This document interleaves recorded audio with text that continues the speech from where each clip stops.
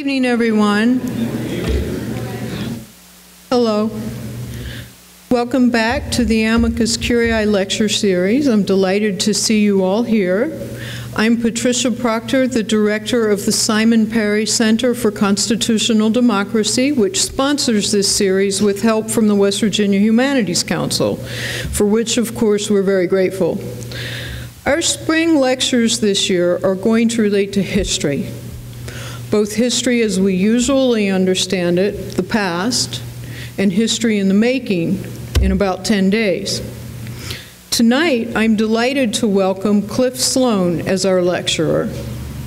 Mr. Sloan is the co-author of a wonderful book called The Great Decision, Jefferson, Adams, Marshall, and the Battle for the Supreme Court. This book tells the fascinating story of the politics surrounding Chief Justice Marshall's most famous decision, Marbury versus Madison.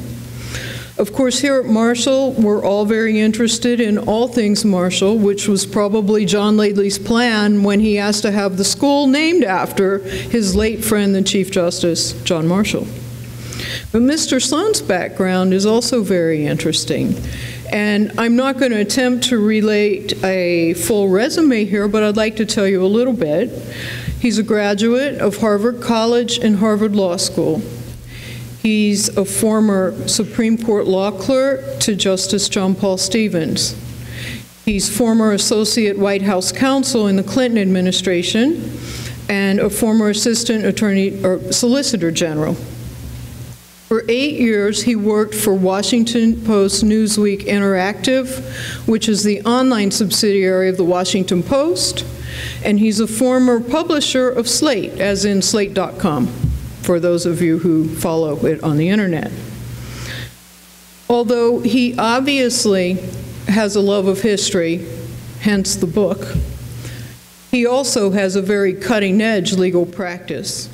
He's now a partner with the law firm of Skadden Arps in Washington, D.C., and he's a leading lawyer in a variety of areas, but in particular First Amendment and intellectual property law. Um, he's considered one of the nation's leading lawyers in internet law. And just two weeks ago, he was arguing in the Supreme Court in a patent case.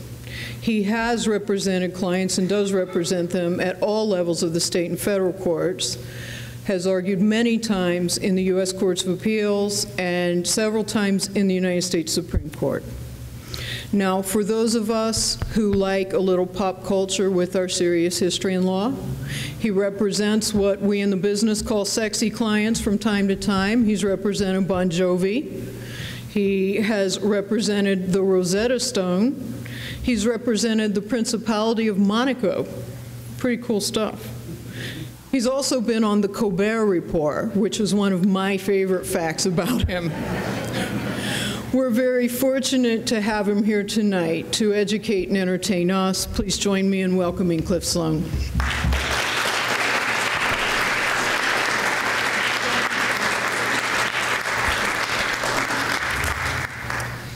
Well, thank you very much. Uh, thank you for being here, and I am very pleased to be here tonight. I get to talk about my favorite subject.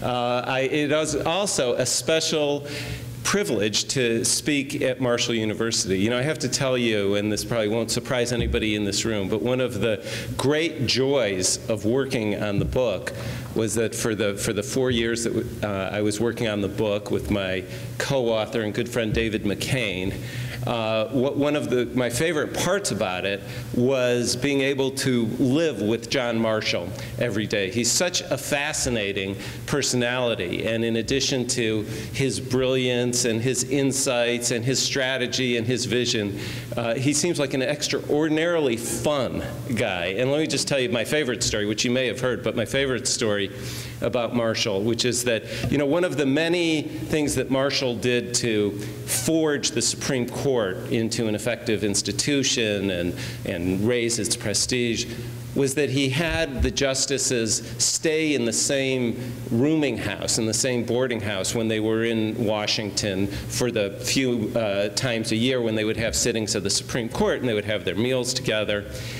And he had a rule, which was that uh, you, they could only have their nightly drinks, their Madeira, if it was raining out. And so every night there'd be this little ritual. He would have a justice go to the window and look out and report on the weather. And of course, many days the justice who was reporting on the weather would say, Well, you know, it looks pretty clear today. And Marshall would say, our jurisdiction is so vast, it must be raining somewhere. Break out the Madeira. so, but it, it's also um, a special pleasure to be here today, because uh, tonight, because I have to uh, say I understand that Professor Jean Edward Smith is here, and of course is the author of the most marvelous biography of uh, Marshall, which I'm sure you all know well, which um, I relied on, we relied on very extensively in the book, and it's without a doubt the finest judicial biography I've ever read, and one of the finest biographies of any kind uh, that I've ever read, and that I think has ever been written. So it's a real special privilege uh, to be here with Professor Smith here. So let me tell you a little bit about um, the background of our writing the book. And uh, David and I were getting very interested in the story of Marbury versus Madison, which is a political story. It is a story of D.C.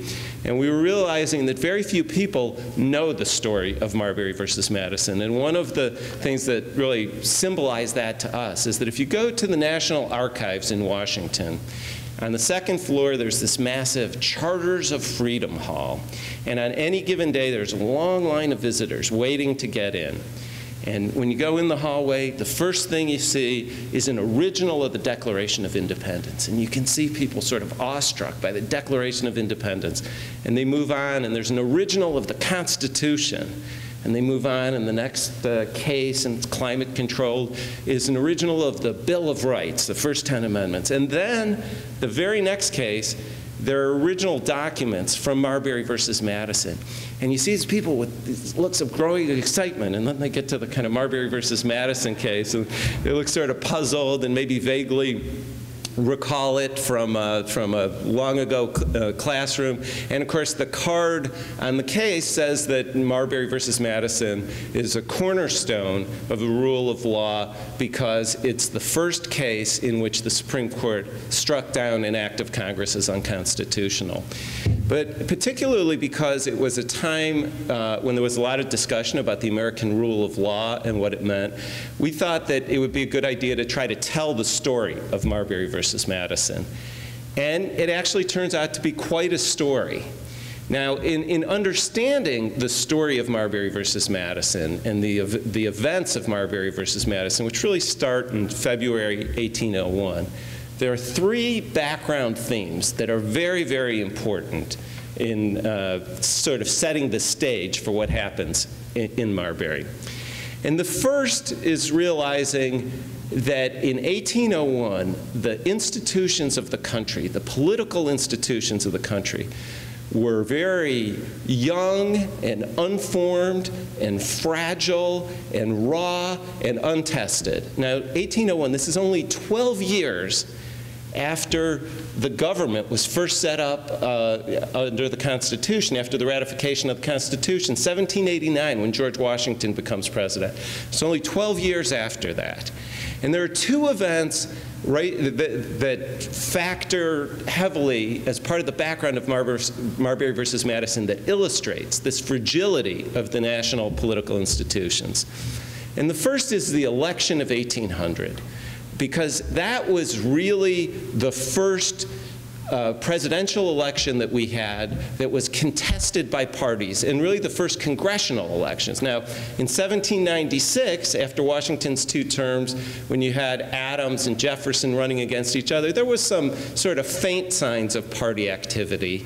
Um, and, but by 1800, the parties had really emerged and crystallized. The Federalists under Adams and the Democratic Republicans under, Jeff, uh, under Jefferson. And the election of 1800 was a very vicious partisan affair. I mean, people talk about the negative politics now. It had nothing on the election of 1800. Very fierce personal attacks, bitter, bitter partisan warfare. And what happens? You have the incumbent president, Adams, defeated. Now remember, Jefferson was the vice president because at the time uh, it, the, the president was simply the person who got the most votes, and the vice president got the second most votes. And so Jeff, Jefferson was actually the incumbent vice president. But you have the incumbent president being defeated for the very first time. And this was like a, a, political earthquake. And in fact, there was nothing quite like it in the history of the world that really compared to an incumbent president being defeated for reelection. And so this is all being played out for the first time in the election of 1800. And it's a sort of stunning event. Even more stunning is what happens after the election of 1800, because you'll remember there was a very chaotic situation. Again, at the time, the president was the person who got the most votes, the vice president second most in the electoral college. There was no way of designating when, uh, when the electors voted in the electoral college who was president and who was vice president. So uh, Jefferson and Aaron Burr had been running as a ticket. It was the first time there was a ticket. And so, of course, they got the same number of votes, the Jefferson-Burr ticket. So there, there was a tie in the electoral college. So what happens when there's a tie in the Electoral College? Well, it goes to the House of Representatives to decide, and each state has one vote, and the House of Representatives, the Congress, was still controlled by the Federalists. It was the old Congress. The Republicans, as they were called, Jefferson's Democratic Republicans, had swept the congressional elections as well as the presidential election, but it was the old Congress that was going to decide uh, who was the president. And Aaron Burr, much to everybody's surprise, let it be known that actually it'd be fine with him if they voted for him for president. And the Federalists were determined, some of them, not to let Jefferson be president.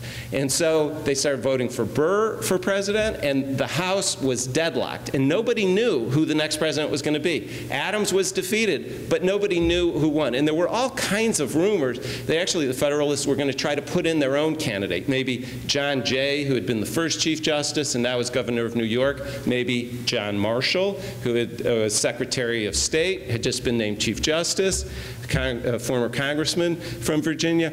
Governor Thomas McKean, the governor of Pennsylvania, said that if anybody besides Jefferson was elected president, he was going to have the Pennsylvania militia march on Washington and prevent anybody else from becoming president by force because it would be an illegitimate election.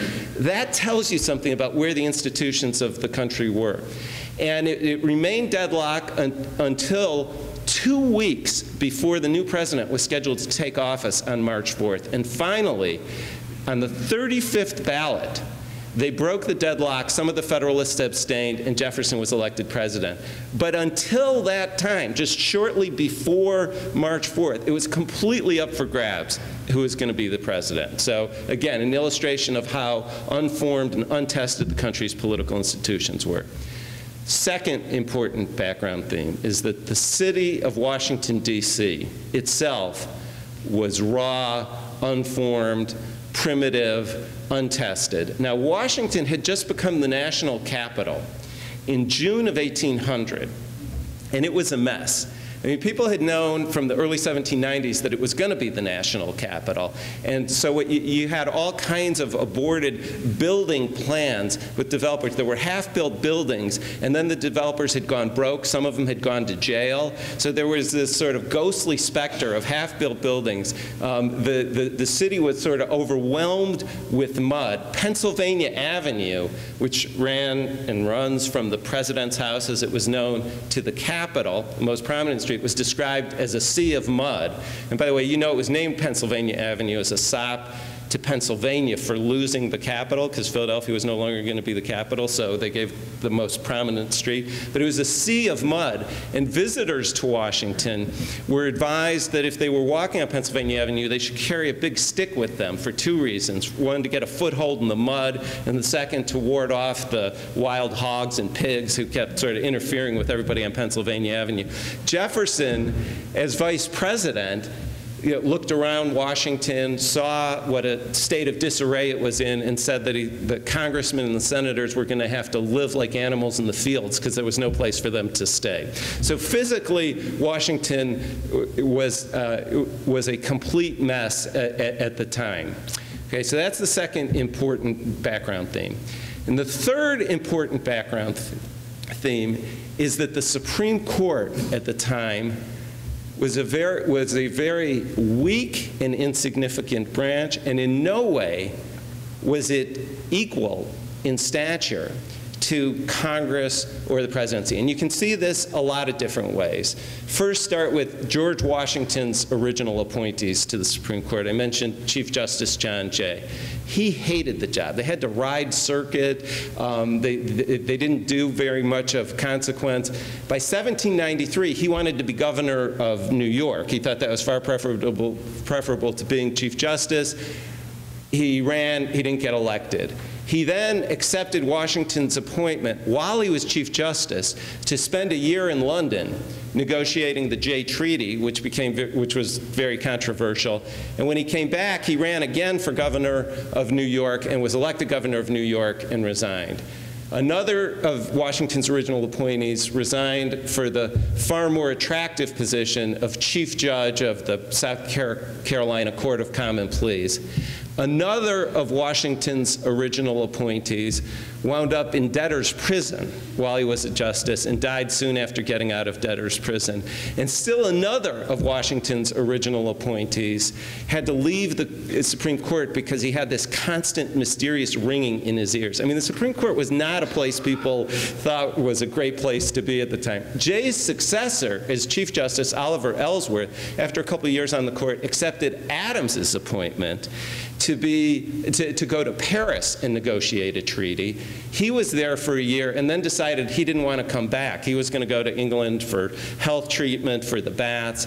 And so he sends a letter to Adams that he's not coming back and he's resigning as Chief Justice.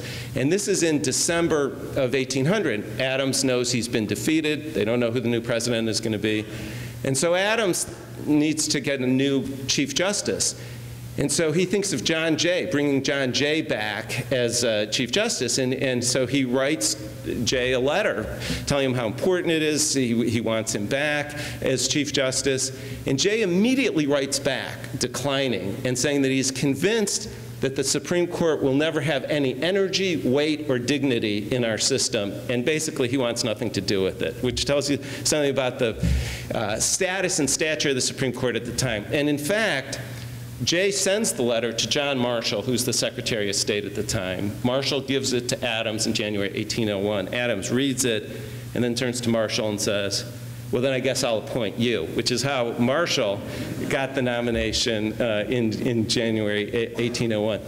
And the last point that emphasizes or highlights the lowly stature of the Supreme Court is that in the planning in the District of Columbia for the Capitol, there was, of course, a place for the president, the president's house, which became the White House. There was a place for the Congress, the Capitol at the other end of Pennsylvania Avenue. Nobody made any provision for the Supreme Court at all. It just didn't occur to them. And, you know, all of a sudden, the new capital gets going and somebody goes, you know, we need a place for the Supreme Court. And so they're writing to the uh, Secretary of State, John Marshall, about it. Well, Marshall's got a lot on his plate at the time. He actually wasn't that interested. He's not really responding. He gets named Chief Justice. He got much more interested in that question. And, uh, and so then finally, at the last minute, they work out that the Supreme Court can use um, a small committee room in the basement of the Capitol, Committee Room 2. And so that's going to be the place where the Supreme Court can meet. Again, an example of the Supreme Court's status at the time. Okay, so those are the, the, the background themes that set the stage for the events of Marbury versus Madison. And the events really happen in, or they begin in February 1801. So this is Adams' last month as president. He's going to be president until March 4th. And again, it's during, in the middle of this month is when it's decided that Jefferson's going to be the president. And Adams, during this month, is consumed with one thing above all, and that is making as many appointments of Federalists as he can before he leaves the government. This is the famous midnight judges, the late appointments. And Adams is up late at night making these appointments. He writes Abigail Adams, the burden is heavy upon me with the appointments. He's, he's consumed with it. And there are two pieces of legislation that are passed around this time that give Adams a lot of additional appointments. I mean, he's appointing the United States attorneys, other uh, federal officials, but there are two new pieces of legislation that give him additional appointments. One of them is the Judiciary Act of 1801 which creates a lot of new federal judgeships and a new tier of the federal judiciary. And this is really, this is the Midnight Judges bill. And so that gives Adams a lot of appointments um, of judges on his way out. And, and he is, you know, feverishly making the nominations, getting the still Federalist Senate to confirm them, getting them in place. And the other piece of legislation is the District of Columbia Act, which is setting up the government for this new District of Columbia. And there are all kinds of offices in the District of Columbia that can now be filled by presidential appointment uh, and, and, Senate confirmation, including the justices of the peace in the, in the District of Columbia. But as I say, this is a very sort of chaotic time in the president's house because there's, uh, you know, uh, these pieces of legislation, especially the, the, District of Columbia one, passes very late. He's got to get the nominations up. The Senate has to act on it. Then they have to get the commissions out to the people. And Adams is literally up late on March 3rd, his last night in office, signing commissions, getting them ready, and they're trying to get them out to people. And the person who's supposed to deliver a batch of the commissions to the justices of the peace can't carry all of them. So he leaves some of them on a table in the State Department. And then he forgets about them or they run out of time. Anyways, they never get delivered. They're sitting on the table in the, in the State Department. The next morning, 4 in the morning on March 4th, Adams leaves town. He doesn't want to be there when Jefferson is sworn in as president at noon. Jefferson walks to the inauguration. It's a great sort of democratic symbol that he's walking. He tries to give a, uh, a, a, conciliatory speech, a speech of reconciliation after this bitter election and after this chaos of the post-election Uh, uh, contest with Aaron Burr. He says, we are all Republicans, we are all Federalists, basically we are all Americans, and he's trying to strike this conciliatory note in his inauguration. And within a day or two after his inauguration, Jefferson goes over to the State Department, he's looking around, he sees this batch of commissions sitting on the table. And he looks at them, and one thing you have to know is that Jefferson was incensed by Adams's uh, flurry of last minute appointments, by the midnight appointments throughout February. I mean, Jefferson uh, later wrote to Abigail Adams that there was one thing and one thing only that your husband did that I thought was personally unkind, and that was making all these appointments when he knew that it was his successor who was going to be in office with them. Jefferson, Madison, and Monroe at the time are writing these angry letters to each other that, you know, uh, Adams embarrasses us, it's, it's a disgrace. Jefferson was incensed um, by this government packing that Adams was doing on the way out. So Jefferson sees these commissions and he says, stop, do not deliver these, we're not letting these go through. Okay, so that's in uh, February and March 1801. The next thing that happens is that in December 1801, the new Congress convenes for the first time, and this is the new Republican Congress, and there's this great air of anticipation in Washington. I mean, this is the first time a new Congress is coming in with Washington as the capital. It's also the first Republican Congress. And the Republicans are very eager and excited, and editors of Republican newspapers from outside Washington are there to witness the historic events. The Federalist newspapers are writing with great anxiety about what's in store. And in the middle of the month, uh, Charles Lee, who was the Attorney General under Adams, so a very esteemed lawyer and a very well-known Federalist, files a suit in the Supreme Court. And it's on behalf of William Marbury and three others who had been appointed Justice of the Peace, but they had never gotten their commissions. And so they had never gotten their jobs. And actually, the other three, besides Marbury, were far more eminent citizens than Marbury. I mean, they were former mayors of Alexandria. One was a very, very close colleague of George Washington.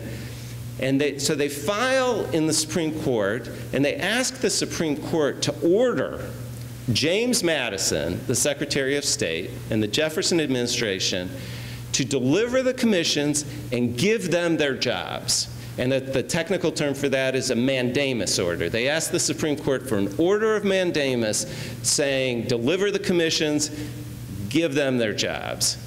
And so Charles Lee files this, and the next day he gets a hearing in the Supreme Court, and he fervently argues for it. And a couple days later, the Supreme Court issues an order to show cause why the mandamus should not be granted. And what that means is that the Supreme Court says, he's shown us enough that you, James Madison, and the Jefferson administration, and Thomas Jefferson, you have to justify yourself. You have to show why we shouldn't do what they're asking in order that the commissions be delivered, in order that they get their, uh, their jobs. And Marshall says, we're going to set this as the first order of business when we reconvene in June of 1802. So the first thing we do when we come back is you're going to have to explain yourself, you're going to have to justify what you did. Now this causes an uproar. Jefferson and his allies in Congress, they can't believe it. I mean, the Supreme Court, this puny institution, is issuing an order saying, uh, suggesting they did something wrong and that they have to justify themselves. And it's on the most sensitive of political issues at the time, which are these last minute appointments that Adams made as he was leaving office. And they immediately react. Jefferson, the next day, writes a letter to a friend where he says it is clear that the judiciary is a place where the Federalists are retreating to undo all of our works. Uh, Jefferson's allies in Congress write letters very concerned about the, uh, the uh, very concerned about this order and what it shows in their view about the court. And when the Congress reconvenes in early January 1802, the first thing that happens is that Jefferson's allies in Congress, the Republicans in Congress, file a bill to repeal the Judiciary Act of 1801, to eliminate the midnight judges, to eliminate all these new judges that Adams had appointed and that were in place. And it's sort of like they're now viewing this as a declaration of war, and so, okay, they're gonna, they're, they're, they're gonna get rid of the act that had bothered them tremendously. And this becomes the, do, the dominant issue in Congress in early 1802. And it's, and it's a very, very fierce political combat. Um, there are references in the debates to the order to show cause on the mandamus from the Marbury versus Madison. And the Federalist opponents say it would be unconstitutional to do that. These federal judges have life tenure. If you pass a law getting rid of their positions, the Supreme Court will strike it down as unconstitutional. And the Jeffersonians in Congress, at least some of them say, the Supreme Court Supreme Court doesn't have power to declare an act of Congress unconstitutional. We, the Congress, are the ones who determine constitutionality. The Supreme Court doesn't have that power. And so they have this pitched battle over it with references to the Supreme Court's action uh, in Marbury. The Republicans pass the Repeal Act, and they do something else also, because they are well aware that Marshall has set the Marbury case as the first order of business in June of 1802, and there also are a lot of predictions the Supreme Court is going to quickly take up a challenge to the constitutionality of the Repeal Act. So what do they do? They shut down the Supreme Court for a year. They legislatively change the schedule of the Supreme Court so that it cannot meet again until February of 1803. Now, the justices are going to have to ride circuit again. They didn't have to with this new tier of federal court, so they'll have something to do during that year. They have to ride circuit. But the Supreme Court cannot meet as an institution again until February of 1803. So that's what happens. The Supreme Court does not meet throughout 1802, meets again in February 1803, and the first order of business is the request for a mandamus, and it's a trial and because Charles Lee has to get in the record and establish that they uh, got their commissions that, that, uh, and, and that the commissions weren't delivered. So he calls clerks from the State Department who testify about what happened, and there's a, there's a trial in the Supreme Court. It's submitted, and a couple weeks later, on February 24th, John Marshall announces the unanimous opinion of the Supreme Court. Now, there are a couple of things that are notable about Marshall's announcement before we get to the opinion. And the first one is that the opinion was announced in the lobby of a hotel. And the reason for this is that one of the justices, Samuel Chase of Maryland, who is known as Old Bacon Face, um, had the gout. And the justices were staying in Stelle's Hotel, which was a, right across from the Capitol, short walk to the Capitol, actually very near to where the Supreme Court building is uh, right now. But um, Chase couldn't, couldn't get out of Stelle's Hotel. It was too painful for him uh, to move. And another justice wasn't there, so they couldn't have a quorum and there actually were a couple of days of the Supreme Court that were canceled for lack of a quorum. And then apparently Marshall had this bright idea, well, if he can't come to the Supreme Court, we'll have the Supreme Court come to him. And it says in the Supreme Court records, due to the indisposition of one of the justices, court proceedings were held in Stelle's Hotel. And, you know, and, and Stelle's Hotel was a very nice hotel. I think the lobby was much better than the sort of small, dark committee room that they had in the basement of the Capitol. But anyway, so Marshall is presiding in the lobby of Stelle's Hotel. And the other thing that is notable is that he was announcing the opinion of the court. And this was, again, an innovation that Marshall had brought to the Supreme Court. They had done it in some earlier cases. Before Marshall, all of the justices announced their opinions individually, seriatim, as they called it. And so you didn't have one single opinion for the court. You had a result from the court, but each justice explained it a little differently. And one of Marshall's great innovations was having this authoritative voice for the Supreme Court in opinions that he usually wrote. So Marshall starts reading the unanimous opinion of the Supreme Court. And he says there are three questions here. And the first one is Does Marbury, and for some reason the other plaintiffs in the case are never mentioned again, they just sort of drop out. And he says, Does, does Marbury have a right to the job? Did Madison, did the administration violate the law when they prevented him from getting his job when they didn't deliver the commission. And Marshall and the Supreme Court say, yes, that broke the law because once he was nominated by the president and confirmed by the Senate and his commission was signed, everything that needed to be done was done and he was entitled to the job even though uh, the commission wasn't delivered. So Marshall then moves on to the second question. And the second question is, well, is he entitled to a remedy? And Marshall and the court say, yes, he's entitled to a remedy. We're a government of laws, not of men. Where there's a wrong, there's a remedy. Of course, he's entitled to a remedy in our system of uh, in our system of the law and of legal redress. And so then Marshall and the Supreme Court go on to the third question. Well, is he entitled to the remedy that he seeks, which is an order of mandamus from this court? And here's where Marshall veers in a very unexpected direction. Because he says, well, they came here with an original request, and we had this trial here for us to grant an order of mandamus. And the law that Congress passed in 1789, setting up the judiciary, the Judiciary Act of 1789, said that they could do that, said that they could come to this court as an original matter and ask for a writ of mandamus. But, Marshall says, that's not what the Constitution says. Article 3 of the Constitution says we are an appellate court, not a court of original jurisdiction. There's some very limited exceptions to that. Those exceptions don't apply here. So the law of Congress, allowing them to come to the court as an original matter, conflicts with the Constitution, and we're going to declare it unconstitutional. And there's a very explicit discussion there about whose role it is to determine constitutionality or unconstitutionality. And the Supreme Court says It is emphatically the duty and province of the judicial department to say what the law is. In other words, the Supreme Court has the last word on the law and on Constitution, and we declare it unconstitutional.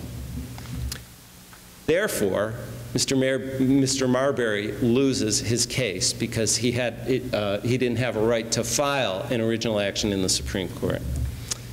Now, when you think about it, this was really kind of a triple bank shot for Marshall, this opinion, because first, in finding that Marbury was wrongly denied his commission, he blasted the Jefferson administration.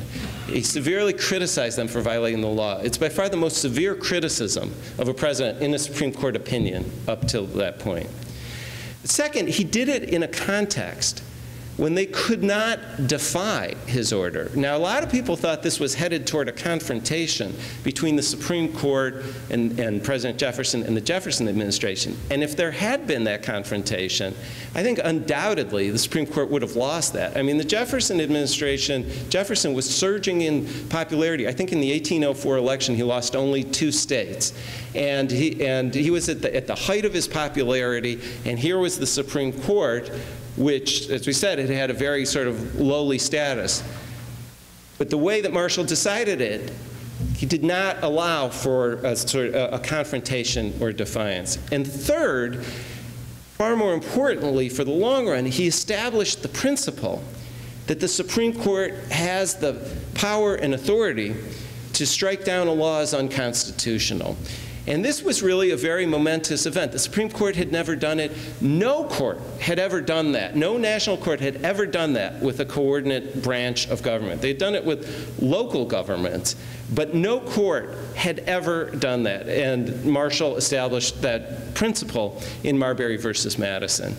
And beyond that, there was something else that Marbury did, uh, I'm sorry, that Marshall did that was very important in Marbury, which is that the opinion lifted the court from the day to day politics. Because here you had all these justices appointed by the Federalists.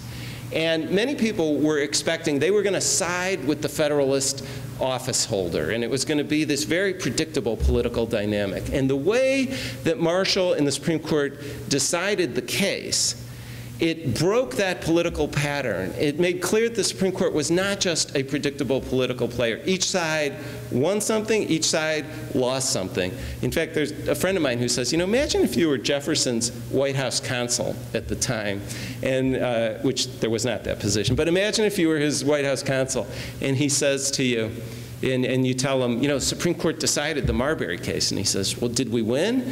What exactly do you say? Well, technically, but there's a lot in the opinion you're not going to like.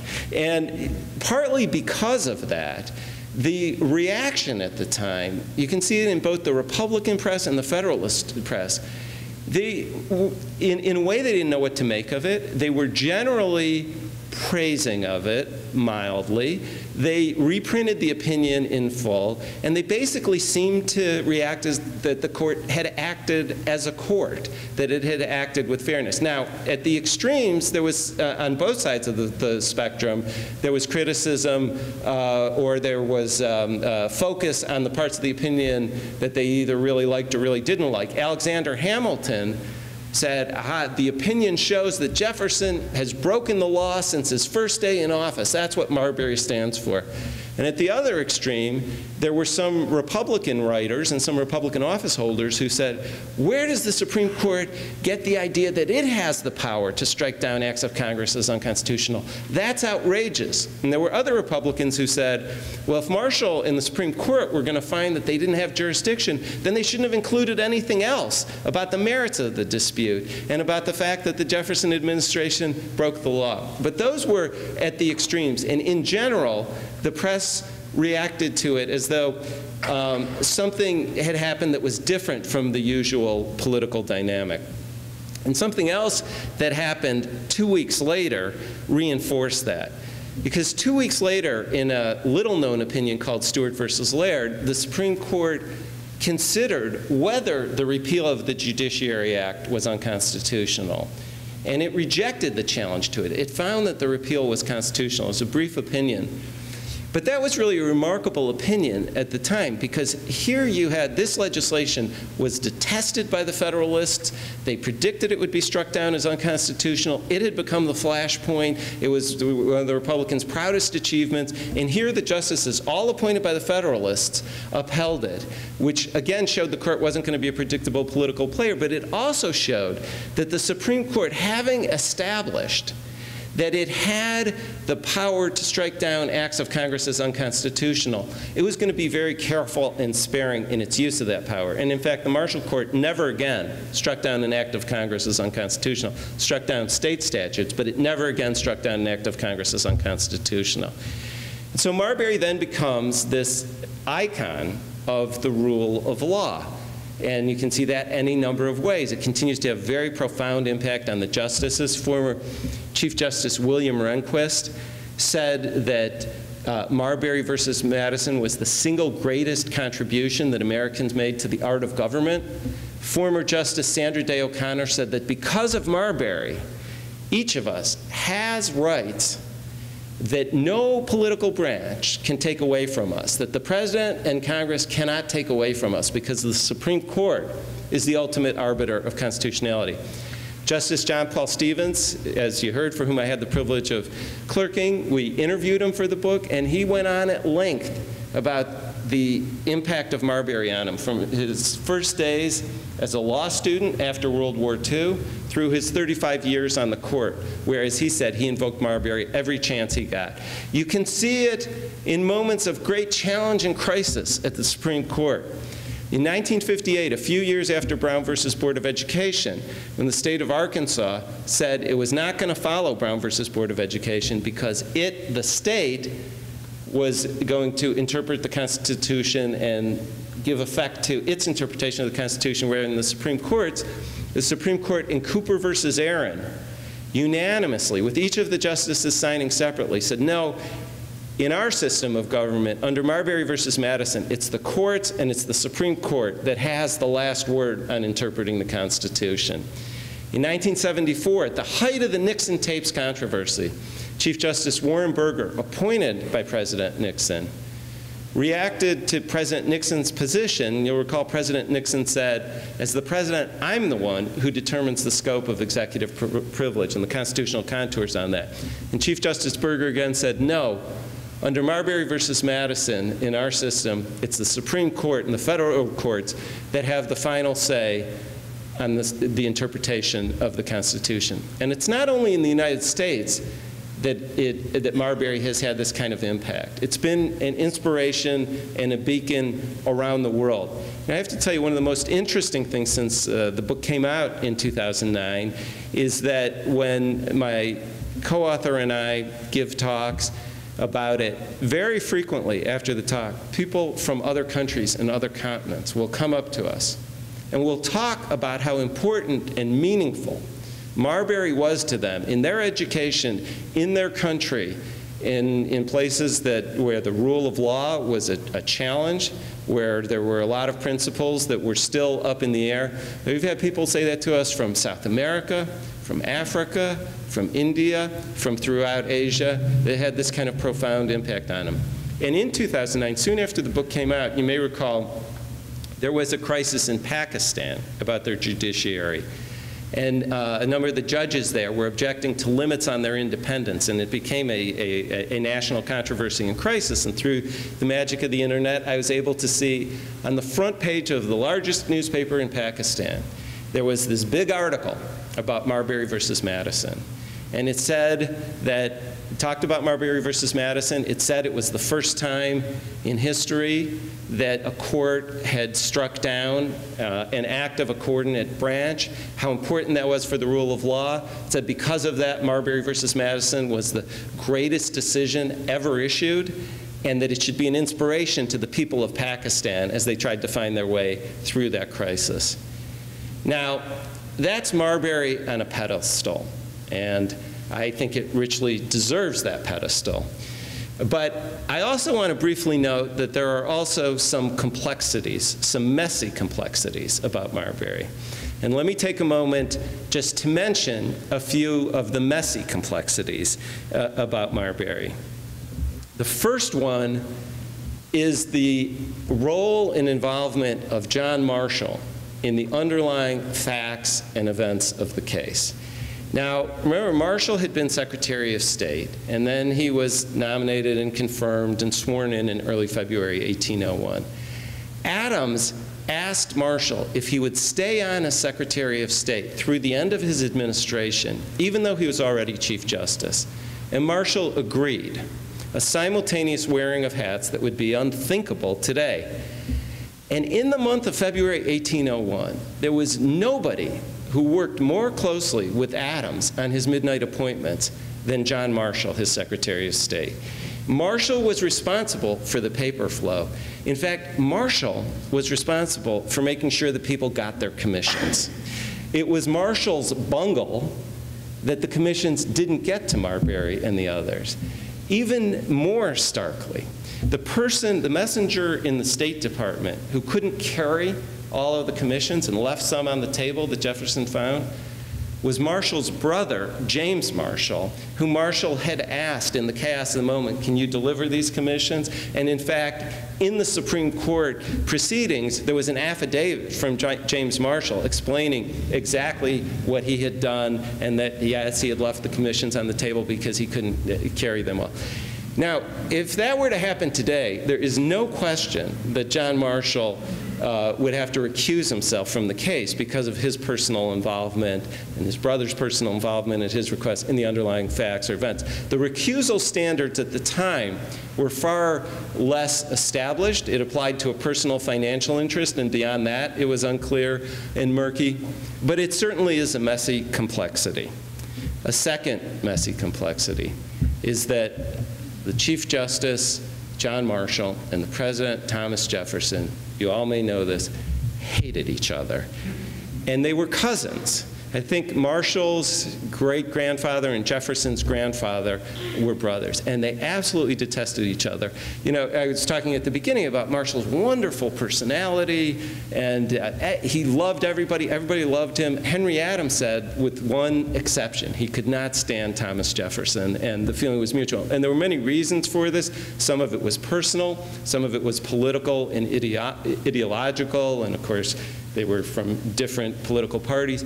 Um, Jefferson, Marshall seems to have thought that Jefferson at one point was very disloyal to George Washington, and uh, Marshall, like other Washington loyalists, were very offended by that. But for whatever reason, Marshall detested Jefferson. He would refer to him disparagingly as the great Lama of the mountains. And Jefferson, for his part, also detested Marshall. He thought everybody was taken in by Marshall. He talked about Marshall's lax and lounging manners. And just one example that shows you how deep was Jefferson's distrust of Marshall. In 1802, Jefferson and Madison got word that Marshall was working on a biography of George Washington. And they were very suspicious of this, and they were convinced that Marshall was going to have a time to come out before the 1804 presidential election, and it was designed to make the Federalists look good and make uh, Jefferson and the Jeffersonians look bad. And so Jefferson and Madison secretly tried to commission a well-known writer, Joel Barlow, to write a rival history of the times, and they promised him they would give him exclusive access to all their papers and lay it out if he would uh, get that uh, rival version out there. So that's the second messy complexity. And the third messy complexity is that the Jefferson administration and Jefferson personally detested the case of uh, Marbury versus Madison and scorned it from the time it was filed all the way up until Jefferson's death. And when Marbury, so much so that when Marbury versus Madison was pending in the Supreme Court, the Jefferson administration refused even to appear and make any arguments. In December 1801, when Charles Lee is fervently arguing in the Supreme Court his case, Jefferson's Attorney General, Levi Lincoln, is in the courtroom. But he doesn't make an appearance, he doesn't say a word in response. And in fact, Marshall, when uh, Lee is done, asks Lincoln, if he'd like to speak and address the uh, points that have been raised. And remember, James Madison, the Secretary of State, is the defendant, and it's clearly the president's actions that are at issue. And Lincoln just says, I have no instructions, I have nothing to say. And again, in February 1803, once again, Charles Lee is fervently making his point. And once again, Levi Lincoln and the Jefferson administration refused to make any kind of formal appearance. They refused to make any arguments. In fact, Levi Lincoln has to testify because he had briefly been acting Secretary of State. But, it, but they refused to make any arguments. And this clearly makes Marshall uncomfortable. At one point in February 1803, Charles Lee finishes his fervent argument. Marshall asks Levi Lincoln to speak. Levi Lincoln again says, I have no instructions, I'm not going to speak. Marshall doesn't say anything for a minute, then he looks around the courtroom, he says, Does anybody have anything they want to add? He was uncomfortable getting it only from one side. And so, the, but the result is that this greatest of all Supreme Court decisions was rendered entirely on the basis of arguments from only one side of the case. Now, in addition to that, Jefferson bitterly resented the Marbury decision until his dying day. Uh, he, uh, about a year later, he wrote to Abigail Adams that um, he uh, was very critical of this opinion that gave the Supreme Court the authority to declare uh, statutes unconstitutional and the idea of it. And he hated everything about the opinion. He hated that ruling on constitutionality. He, he thought Marshall was wrong on the merits, that, the, that Marbury had a right to his commission. Um, he thought that Marshall should not have gone on to talk about the merits when he was um, when he had found that there was no jurisdiction. And Jefferson was very, very scathing in his criticism uh, of the Marbury decision, so much so that in 1807, in the treason trial of Aaron Burr, Jefferson actually ordered the U.S. attorney in the Aaron Burr case not to cite Marbury versus Madison to the court. Now, remember, Marbury is a fairly recent Supreme Court precedent at the time, and Jefferson says he wants Marbury recognized as not law as soon as possible. So again, a messy complexity. Now, in my mind, none of these messy complexities detract from the greatness of Marbury versus Madison. I mean, to the contrary, in some ways, I think they actually add to it. Because it makes you realize that Marbury did not just sort of come down from the clouds as received wisdom, but it was part of a very messy political situation with the outcome uncertain and many of the most important issues up for grabs. And it maybe even gives you a little bit of hope that in our own messy political uncertainty, things of lasting value can emerge. And finally, I just want to mention, for me personally, an anecdote that shows um, what I think of as the power and force of Marbury. And um, I also uh, clerked on the uh, Federal Appeals Court in the District of Columbia, the U.S. Court of Appeals for the D.C. Circuit for Judge J. Skelly Wright.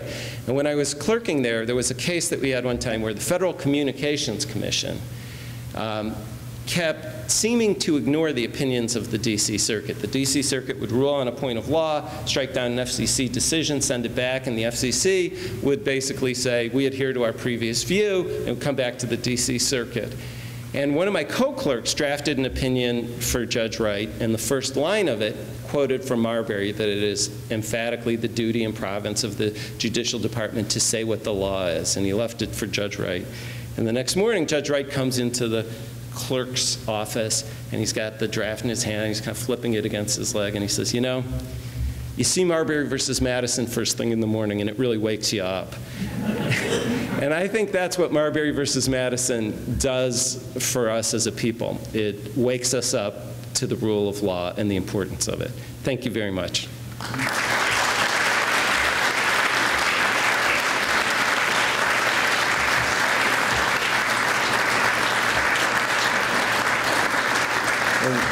I'd be happy to answer any questions if, any, if anybody has questions.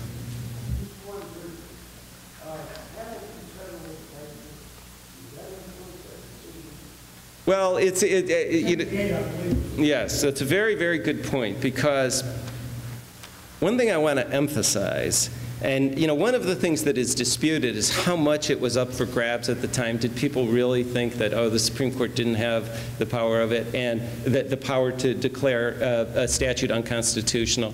And it, it's very much is the case that um, that idea had been out there. And it, as you say, it was in uh, number 78 of the Federalist Papers very explicitly. And in fact, Jefferson himself had expressed that view.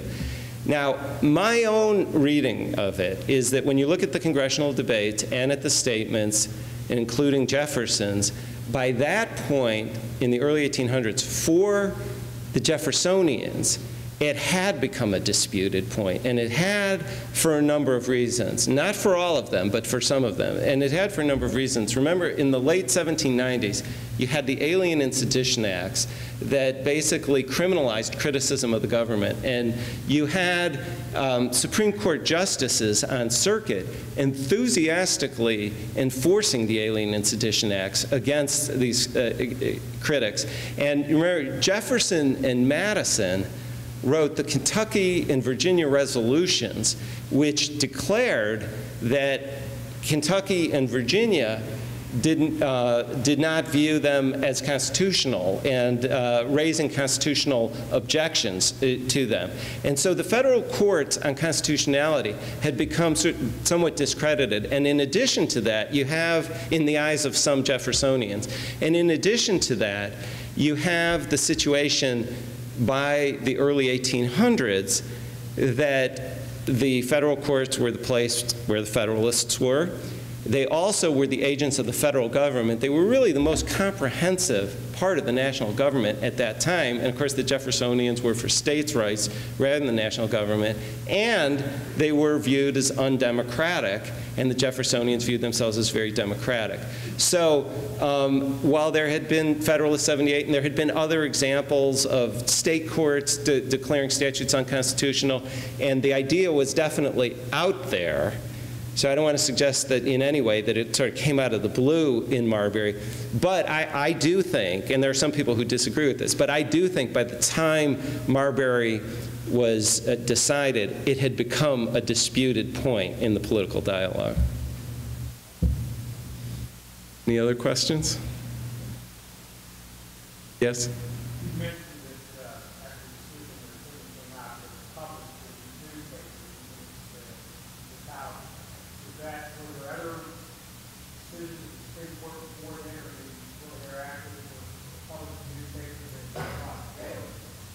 You know, it's, it's, it's a, a very good question, um, and it highlights a point that Marbury was viewed as a big deal at the time, and it was viewed as a big deal by Marshall in the Supreme Court. It was much longer than the typical Supreme Court opinion at the time. It was a long opinion, and most of the time, uh, up until that point, they were, they were issuing pretty short um, opinions to my knowledge, it was not at all common for them to be printing the Supreme Court uh, opinions. And, um, uh, you know, I, I, think that that was uh, a sign of the fact that they interpreted it um, as, as a big deal. It was not the routine practice for the newspapers to be, to be printing it. And they would, they, they actually printed it in a couple of installments because it was um, sort of so long, you know, and so it sort of showed their view of continuing interest in it as well.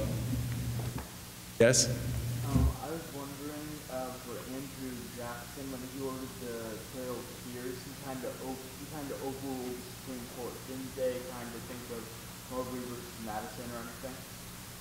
Yeah, that's an interesting uh, question. You know, not now let him enforce it. You know, John Marshall's issued his opinion. Now let him enforce it. And and you do. Um, you, you, you do see these issues emerge from time to time, both with the federal government and also with states and local governments. I mentioned Cooper versus Aaron. You know, there's this sort of new rage about nullifications with respect to gun laws, that, that, that where a lot of local governments and bills have been introduced in state governments saying that um, if they, that the local sheriff saying if they view the gun laws as unconstitutional, they're not going to enforce them. So these issues do bubble up. In terms of your specific question, I actually, that's a very good question. I don't know the answer to that. I don't know if people invoked uh, Marbury at the time of the Jackson confrontation. I just don't know that. But the, that is, that's a great question. Anything else? Any other questions? Okay, well, thank you very much. Thanks. Thank you. Thank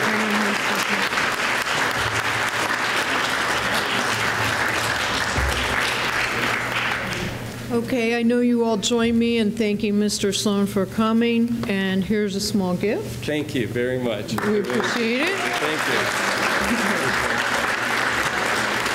I have some, some other things. Uh, If somehow you escaped me on the way in and didn't pick up a Humanities Council feedback form, if you could do it on the way out, I'd really appreciate it.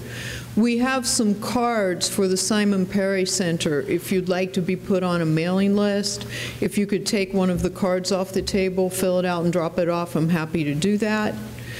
Finally, I'd like to thank Price Haynes and the West Virginia Bar Association for providing refreshments, which are outside the door. I hope you will partake. I think I saw some Sodexo brownies, so if you're smart, you, you will partake. Um, Thank you for coming. Our next lecture is Thursday, April 18th, and I hope you'll be back. Thanks.